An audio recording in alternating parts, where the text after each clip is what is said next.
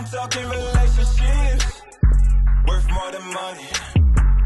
No time for the fake or the phony. Tweezy drop the gym. It's so evident. Link up with the gang. I'm talking relationships. Worth more than money. You had like, you had like that ain't the song, man. Oh, so you, so you gonna play it for the intro? Yeah. Oh, you a wild boy. Yeah.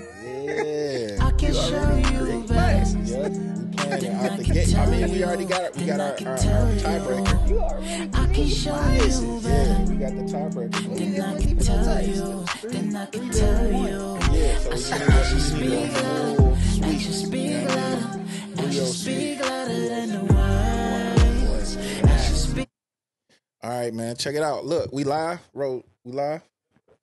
All right, look. Welcome back to Relationships Worth More Than Money podcast. I am Tweezy, and to the left, who I got? You got Mr. BUD, Mr. Brought BUD, baby. Man. BUD, baby. Yeah, what's good, bro?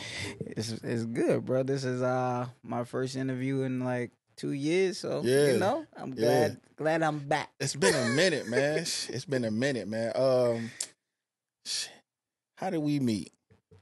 We met because I went to the studio and met um Will. Will. Yeah. Will stay right down the street from me. Shout out to Will. Uh, my sister actually uh was getting her album ready, and then she's like, "It's a studio right down the street. Let's go." So I went with her, and then Will was talking, and then I was like, after him and my sister finished business, I was like, "I'll do music too," and then I was like, "If you need anybody, if you got any producers or anything that needs songs written or anything, any way I can help, it's like I know somebody." And he sent me you. Yeah. Damn, that's dope. Yep. And ever since, man. Ever that was what? Three years ago? Oh, goddamn, three years ago. Was it? No. Two? Bro, Two. think It's- about it. You know what? It's I've been in 2024. for- oh, You know what? That's what I'm trying to tell you. That is kind of wild. Yeah. It might have been like two years now. Like two. Let me see. It might have been like two years. I moved in here almost two years. You've been here for like two years. Um, well, You're like, Um, you've been here like a year, bro. yeah, it's like a year and, some change. And then uh, and then we met near the tail end when you was at the other spot. Yeah, but it's been like It's been a minute. been it's like been at least years. a year now. Yeah, A year for sure. for sure. Cause you been put me on that. the um what's the uh, Cutwater. Yeah. Cutwater, hey man, I need my sponsorship, man, because Cutwater was Straight up, Hey, you put me on that was on joint. You the first person to put me on that. heavy, dog, heavy, man. So look, man, tell everybody like where BUD from, man, because I know where you from, So but they need to where- know. Where I'm originally from is South Carolina, in the middle of nowhere, in the woods. I grew up in the country. I'm a country boy at heart. Uh, What city? it's called Pamplico. And then Mm. my neighborhood, we call it Mac Mill. Yeah, So, you know, every place got their own little divide. So my neighborhood is Mac Mill. So I've been born and raised in South Carolina, grew up in the country. Uh so, you know, my my mentality is try to do right by people and they do right by you. yeah. So that's my whole vibe. How how was the upbringing in South Carolina? country is shit. Yeah, But yeah. I seen pops on the ground the other week. You know what I mean? Exactly. We Teaching cut, you how to damn do down uh, trees. Take take uh t- swap out a uh A blade, chainsaw, blade. Yeah. yeah. I'm I'm straight country like that. Uh, I had pigs, had chickens, type. Yeah, that's that's how I grew up. I didn't grow up in the city at all. My life is not urban. Not urban at all. It didn't get urban till when? Uh, after I went to college. Okay. What college? uh, South Carolina State, historical black college, man. Hey, Get- HBCU. go Shout out to HBCUs. man. We go Yeah. support them. We Yeah. need them. It's Aggies, right? Nah, Aggies? Bulldog. Bulldogs. Yeah, Yeah, y'all beat- Bulldog. y'all beat and them. champs. We we MEAC champs. Yeah, y'all beat Deion and them in that uh Uh-huh, that yeah, bowl game. yeah, yeah, I remember Bulldog. that. Yeah. Yeah, yeah, for sure, for sure. Shout out to South But Carolina yeah, that was uh well luckily before that my uh mom always kept us like going places. So I kinda knew what stuff looked like, different cities and stuff. My sisters live in different cities growing up. So city life went foreign. It just ain't what I grew up to. So when I actually went to college, I went to Orangeburg, where uh state is. That was my first time being in the city living. Mhm. And then after that, I done lived in a couple major cities. Yeah. I done went to Georgia, California. You know, kind of been all over. Okay. When when did you start the music journey? So it's cliche. Like I grew up in the church.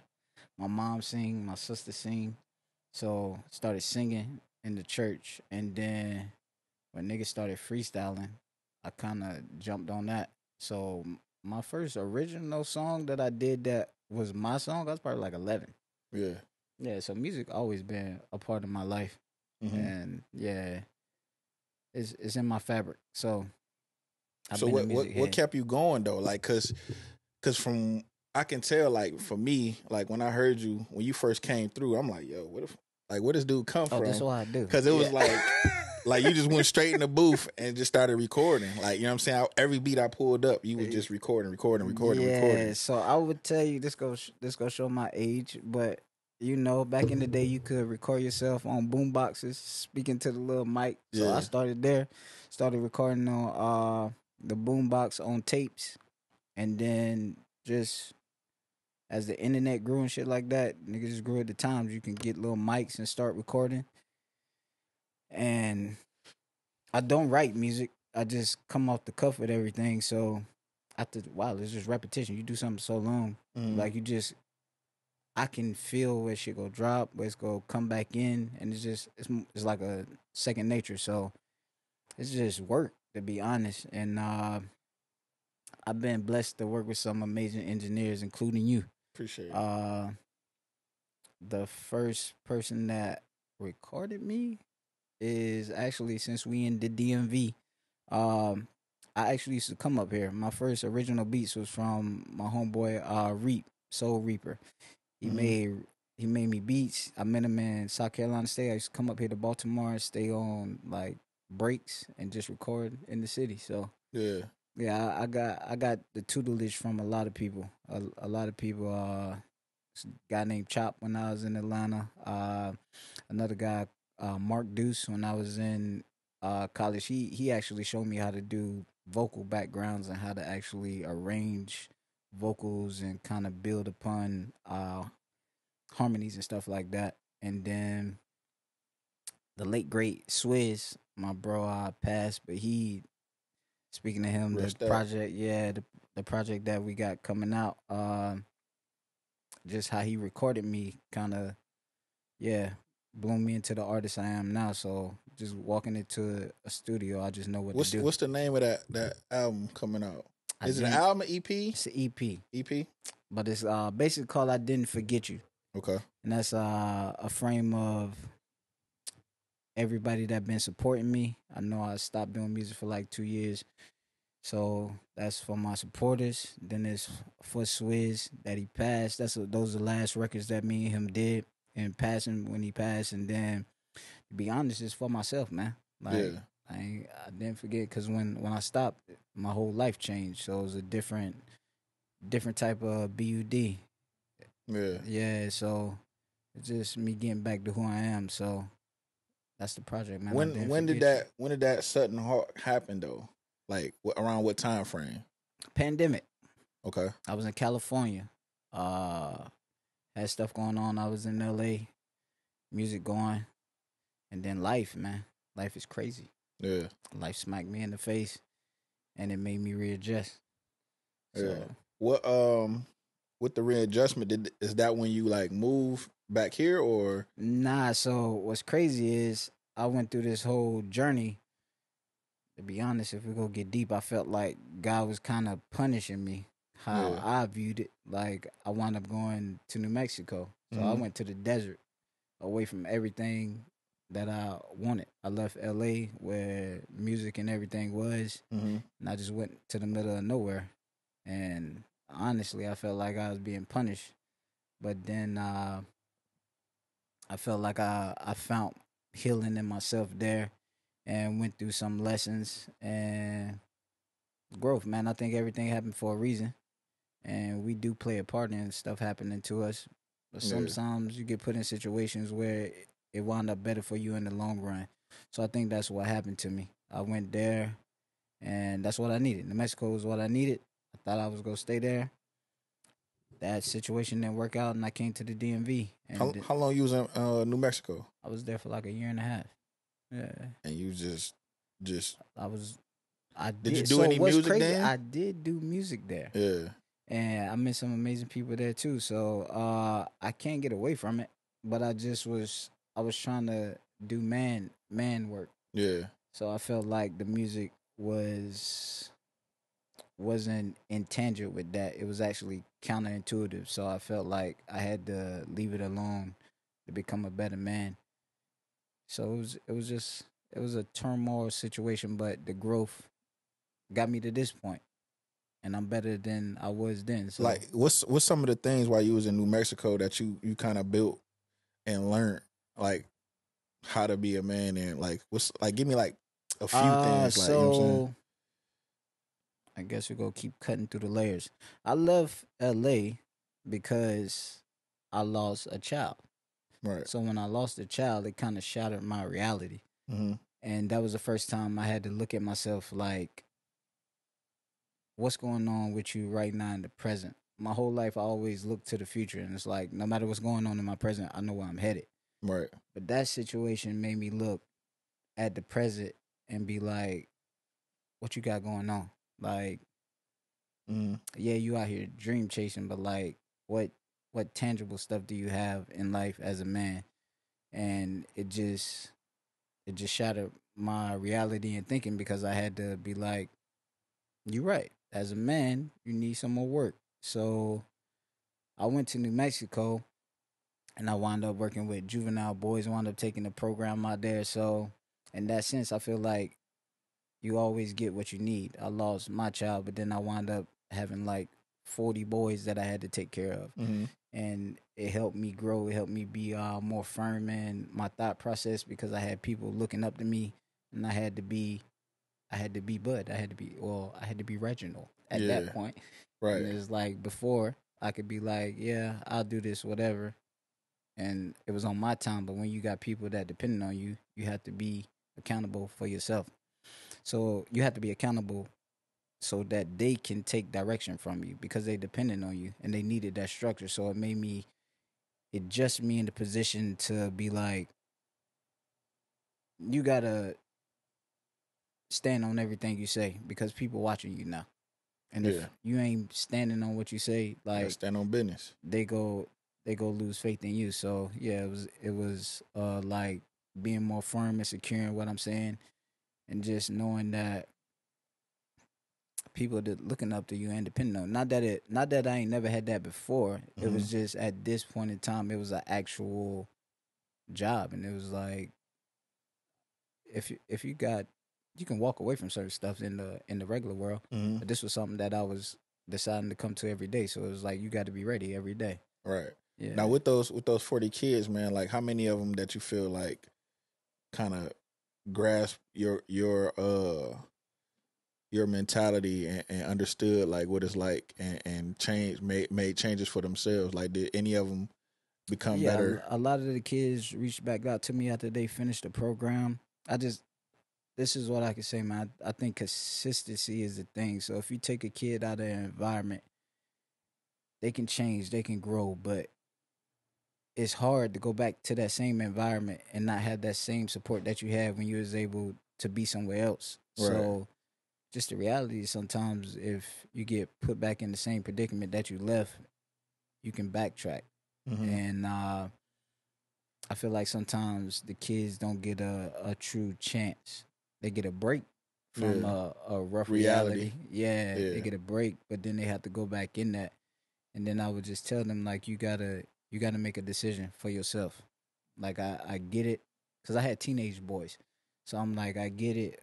Whatever happened when you was a kid, you couldn't control, but everything now you kind of you making decisions to do what you're doing now. Yeah. So you gotta you gotta take responsibility, and and I feel like just to do that as a man, the more you take responsibility for what happened to you, the more you feel empowered and feel controlled to move, and it don't feel so hopeless. I feel like a lot of people stuck in situations because they feel like they can't control what's going on.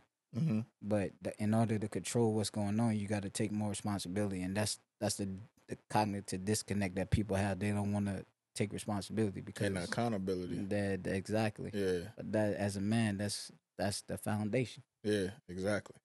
So what um with with the New Mexico to DMV, how did that transition? Like how you transition back here? So I was like, you know what? I can stay in New Mexico. It's cool out here. You Yeah. know, uh, but no know, a little foreign type of vibe out here. Yeah, you like you like the you like the country. yeah, Yeah. you know, it was kind of it kind of reminded me of South Carolina. It was it was a slow paced thing, retirement type of vibe. The landscape looked different, but you the energy was the same. So I knew how to maneuver around that. Uh, but I had a situation come with that, and it didn't pan out the way I thought it should be, and I was just like, you know what? I ain't from here. I'm gonna go about my business. Yeah. I just try to pay attention to certain signs in life. Like, I feel like God do speak to people. Like, if you pay attention, you can see certain things happen. And when it's time to go, it's time to go. So I just took note and I was like, all right, I'm going to get out of here. And I came from my nephew graduation Mm-hmm. because my nephew and my sister live here and my brother live here. I came for a graduation and then I was actually going to go back to Atlanta Mm-hmm. but I got here and I was like, uh, I just was taking care of kids I don't know. And my nephew, his own man now. Yeah. Like I wanna I wanna spend time with him. So I guess my whole adult my whole adult life, I I left my family. So Yeah. I've been away from my family chasing after the music. Right. So this is my first time being in an area where I can see my sisters or see my sister and my nephew every day, see my brother every day if I wanted to. So Mhm. it was just a different experience. And I told my nephew, I was like, I'll stay till you go to college. And when he went, uh, I had a situation come up where I could stay and actually work. So I was just like, I'm gonna stay for a little bit. Yeah. And then that's how we wound up getting here. Shout out to Neff, man. Yeah. Dude, big man. He came Big over. dog. He came. That he came over. Um. To the studio. Yeah, to the studio. We was working on some music, and he was just listening in on it. And uh, good Yeah. kid, man. Yeah, man. Good Yeah. kid. How is it like uh being back around family, man? Like like what's what's the most important thing when you when you be around family that you appreciate?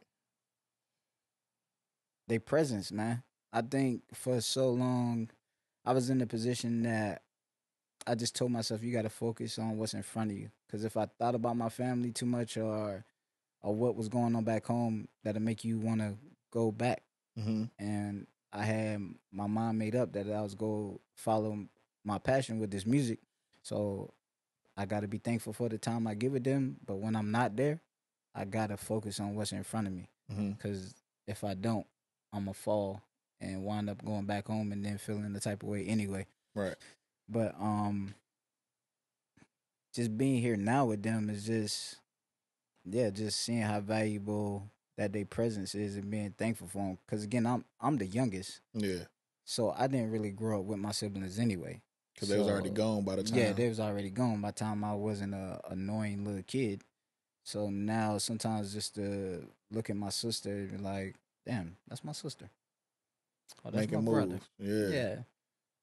Because I didn't I it's weird, but it's just like I didn't see them that much. So it's Mhm. like but now I see them, it's like sometimes you had to realize that that's really my sister. Yeah. Yeah, like damn, they look just like my daddy. I know Yeah. that sounds stupid, but Right, my brother looked just like my dad. So sometimes it's just like, huh. I guess I lived in the world so much that I had to tell myself I was by myself, just so I could keep focus. Mm-hmm. That it's different now that I see that that physically I can see that I'm not by myself.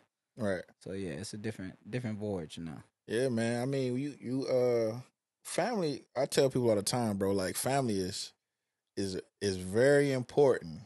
Key. It's it's a very important piece and key piece to your life, but it also can be a a, a terrible Hindrance.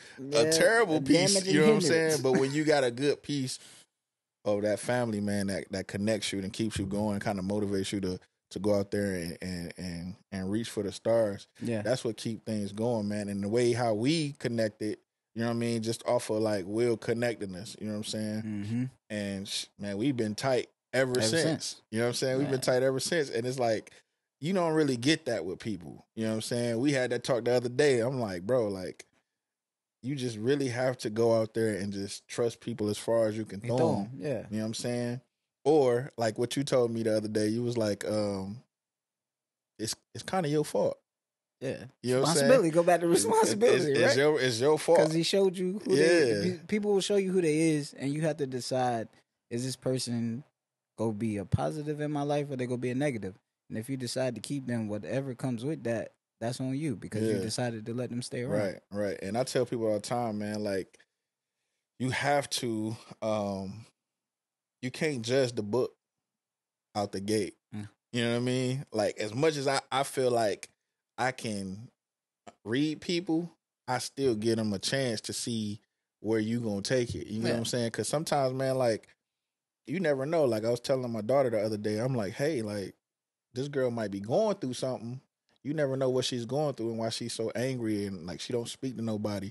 So I tell that people to I tell that to everybody. Like, look, man, you you can't just judge them off the rip. Yeah. You know what I mean? But when they do, Believe it. when they do show you them cards, Believe don't try to put them back in the deck. it. Nah.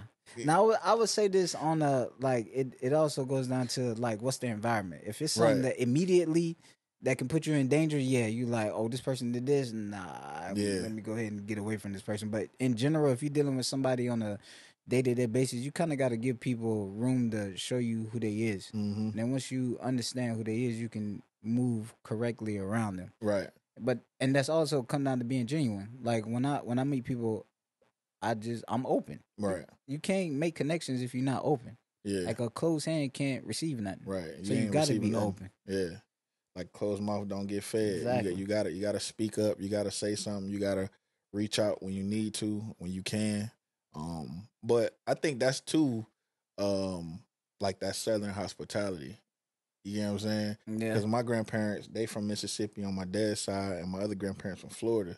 So like me going down south every summer, you, got know what that, I mean? You got that vibe. I understood, like, you know what I mean, what it's like to, you know what I mean, have that hospitality. But then coming back up to Detroit, it was like, People You- hate you. yeah, you Gotta- had to be, you, you- people hate Yeah. you. People don't want, people, people want what you got. But at the same time, people also there to offer extended hand. But you just got to know Who to trust? who to trust. You know what I mean? I think that's a test too. I kind of thought about this for a while too. I feel like in the country because people so spread out, you happy to see another person. yeah. That's why everybody wave at each other in the country and stuff like that. Because you Yeah. probably done drove like ten miles and didn't see Just to see, just to see one person, because all you seen was land. Yeah, but in the city, Yeah. like people, it's so congested. People on top of each other, so people already like got anxiety about that. So like stuck and be off putting. They so in a rush to get somewhere. You know Yeah. what I mean? Yeah, it's like so- it'll slow down. when you don't got no personal space, you already feel like life is on top of you. Then you add people on top of you. You can see how that can be like a combustible situation. Yeah. Now let's get let's get to this album, dog. This Yes, EP. let's, let's get to it. Let's get to it because um, we it. had a debate earlier, Here we go. but we don't. I'm already we already won. You know what I mean? We the song is out. Speak louder is the one that's going to everybody gonna hear first. yeah, But when we when you gonna drop it? the 11 on my birthday, 311. Okay, so three eleven. So damn, we gotta go get the pictures. Yeah, we got to We gotta the get pictures. the pictures today. You know, yeah. Um, so it's a lot. So when y'all see this, this probably will be the, the outfit for the pictures. yeah, So three yeah, eleven. same we day. Actually, this all happened in the same day. I didn't wear the same thing. yeah, yep, yep. So, talk to me about the first track. Uh, the first track is called How It Goes. How it goes. Um, basically, it's just me speaking on the reality of things and just like where I was at, and me expressing the frustration and just the reality of my life. So it's a it's a pretty upbeat uh tempo type of song, and your boy rapping, snapping on there. Yeah. Like, so yeah, that's it depends on where you met me at in in my musical transition. Some people know me for being battle rapping, some people know me for just straight rapping, and then some people know me for R and B. But you know, wherever you met me at, this project will have everything to fulfill everybody palette. So how it goes is definitely a, a high energy song and uh I got them bars for you. Straight All like right, that. and then right after how it goes, Is the the song that you deem to be what it is. I didn't deem it. It was all. It was a. It was all hands. Speak louder. Speak louder. Speak louder. Action. Speak louder. You know, it's a smooth track. Uh, it, it got vocals on there. Go back to the harmonies and everything. So you know, it's it's just a good vibe. Good, you know, sexual type of tension going on in that joint. But you know, Mhm. it's, it's- a banger. And It's a okay, banger. so after speak louder, what we got? we got toxic. Exactly. Yeah, now this joint, I feel like it it showcases all my talents at its best. So it's rapping, harmony, all in it. Um, it's it's a mid tempo song. It'll it'll get you moving though. But it's a it's one of them ones for sure. It's one of them ones. And after toxic, We got uh have it your way. So that's an that's another um. It's a it's a pretty high tempo song, more R and B, straight singing in that song too mm-hmm. and then the next one will be uh don't worry that's, Don't Worry. that's my favorite joint your favorite joint. the one he lost, the one that lost, but it's still fire though. It's still a banger. it's Still a That's- banger. but that right there to me is like a, uh ultimate r&b joint and then the last song is uh don't give up and that's a rap and a little bit of vocals in that joint too but Yeah. uh the whole project is just a a vibe, just a vibe. It ain't me trying to hit you over the head with a million songs. Just something to show appreciation for all the people that been rocking with me, and to get my feet back wet. But yeah, your boy still still got got them joints. All right. So after after uh this EP, what you what you working on? Do you already got you already got a, a six month, twelve month plan? Or you- yeah, or I you already, pushing this I already one? got a. I already had another project done. It's called New Life, so that is a thing too. Um, and then we got joints, A bunch of A bunch of joints. Yeah, a bunch. and then I got another project that's I, that I actually did out in New Mexico too, which is I know I said I wasn't doing music, but again, I wasn't doing it to the capacity that I was doing it Yeah, in uh California and then in Atlanta. the full but- clip. Yeah, I, but again, I can't get away from music no matter how I try to fight it. Just now, I'm back into accepting it as what it is. Now, how you feel? What what you doing? You back doing the music, man? How you feel mental mentally? Like, where are you? Like, as far as your mental health, like how you feel? So, I mean, first of all, I'm not a mental health. I just feel like it is what it is. You, you just got to do what you got to do. Yeah, I mean it's it's a lot, bro. It's, Yeah, it it's a lot. But when I you, mean- when you sit down, it is a lot.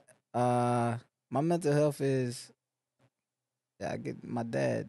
I will. I will give him the almighty praise. Like, just, you just do what you got to do. It ain't that you don't feel what you feel. You just accept it and figure out how to make your situation better. So my mental health is. I'm good, bro.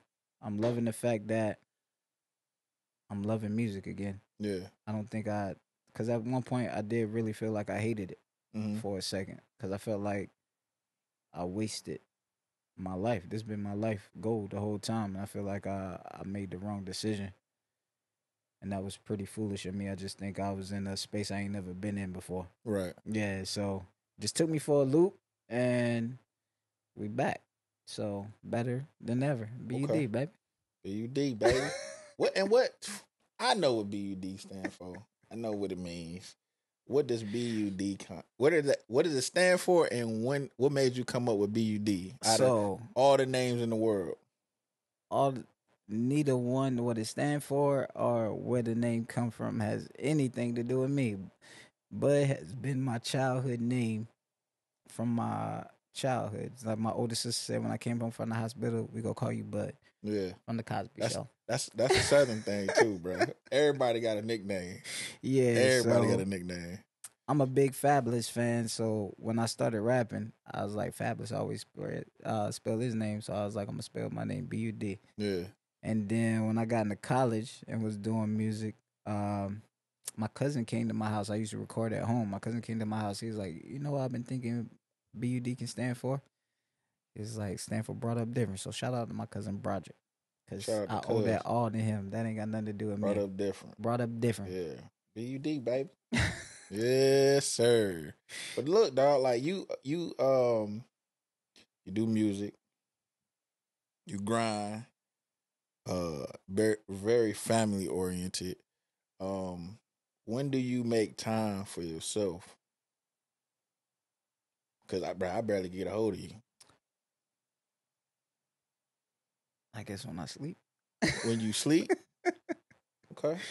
Now, I how, mean, how much, how much sleep do you get? depends on what's going on. That's like, no, I haven't slept. Got off work, I be trying to to tell. church, I be trying to tell came people, here. man. stuff. Listen, I feel like again, you just gotta do what you gotta do. Uh I think me doing music and I have my moments, but life ain't really about us per se. It's about how we can affect others around us. To me, let me say that to Mhm. me, and I just want to make an impact around people in my life and people that I care about and people outside of that. I just want to be a light. So I think I get my joy out of when I when I'm able to do stuff for people I care about. So that that's my moments. But my selfish moments is when I do music. Yeah. Yeah. And that's okay. anytime I'm moving. Word, word. Um, top five. Top five. Top five. You got artists two, or rappers? two top fives. Two Okay. top fives. All right. So top five rappers and top five artists or songwriters. Rappers. Let's just do rappers first. Uh DMX. Mm-hmm. Uh Is this in any order or just I'm not doing no order at Okay. all. DMX, Fab. Fabolous. Cam'ron, mm-hmm, Lil Wayne, mm-hmm. all time. Yeah, who I'm putting in that fifth joint? I say Drake. DMX, Fab, Cam, Wayne, and Drake. All right, Mm-hmm. cool. That's a that's a that's a dope lineup. Top Uh, five Top five R and B, R and B R and B, or or would you say just songwriters? or or songwriters. whatever? Yeah, yeah. My favorite songwriter is Rico Love. Okay. Uh. I got to meet him, so that's been dope. Uh, my favorite R and B group is One Twelve. Hmm. Cupid was the The song. the song. yeah. I got to work with them. That's that's really my biggest music music accomplishment. I feel yeah. I got to work with them. Uh, I could have met them on some fan type stuff or any type of way, but I met them in the studio, yeah. and I used to want to sound like Slim. And I'm in the studio and Slim listening to me. yeah. So that was a surreal moment. Um James Brown. Where we at? Three? Three. Um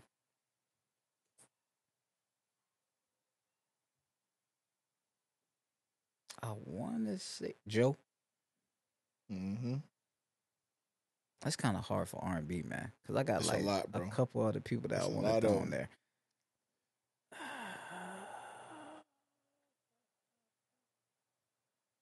I'm gonna do two interchangeable. Okay. I'm gonna say Chris Brown Mhm. interchangeable with Trey Songz, and then Usher will be like behind that So Rico Love, right? because songwriter. Yeah. He, Rico he a top Love. songwriter. Yeah. One twelve. Mm-hmm. James Brown, Mm-hmm. Joe, Mm-hmm. Chris Brown, Chris Brown interchangeable with Trey Songz Trey Songz, and Usher. and Usher. So they so they five A, B, and C. Yeah. Okay. Mm-hmm. All right. Cool. Cool. Cool. Mm-hmm. What um if you can give somebody we always do this too uh every episode. We call it gym class. Not G Y M, but G E M. Like what gym could you give somebody out there, you know what I mean, that can help them in life. It don't even gotta be about music, it can be about anything. Like what's a gym you can always use that you use. I give it two. All right. If you got conviction about what you're doing, that's how you know it's truly what you want to do. Because at that point, it don't matter what the odds are or what adversary come against you. You you got a conviction that I'm doing this no matter what. So that will also give you the foresight and insight that this is something you really care about. Because the minute that would get hard and it's like you like nah this ain't what I would you know for sure that that wasn't something you really believed in. So the minute that you find something you willing to go to war about, hold on to that. And then my biggest thing is, is take responsibility Yeah. for everything that happened to you. Even if somebody else do it to you, look at it like, what did I do to make that person feel like they can do that to me? Because again, the more, the more responsibility you, you you put upon yourself, the more you have control and power to make a difference in your life. So those would be my two: Okay. If you got conviction, conviction and taking the and taking responsibility. responsibility. Those two Mhm. dope things, man. Um, it's always, I always like every gym class would be something different. That's dope, and it, it's to me it helps, man. Like when you actually give, um, a gym because people come back and hit me and be like, "Yo, dog, like this joint was dope, and I like this part. I like this part." Um, and the gym class always sit with everybody Yeah. because it's something that you know what I mean. People can take, Take and from it. use, like you know what I mean. It's a tool, but just throw it in a toolbox, like you know what I mean. Um, yeah, man. We uh, we back We're twenty back. 2024. March I eleventh. didn't forget you. I didn't forget you. I you. didn't forget you. man. Um, this is BUD. BD baby. I am Tweezy, and this is relationships worth more than money. And uh, yeah, like that, we gonna. Like that, we out. This episode twelve too, by the way. episode twelve. Yeah, let's get it. Relationships worth more than money podcast. Gang. I'm talking relationships worth more than money. No time for the fake or the phony.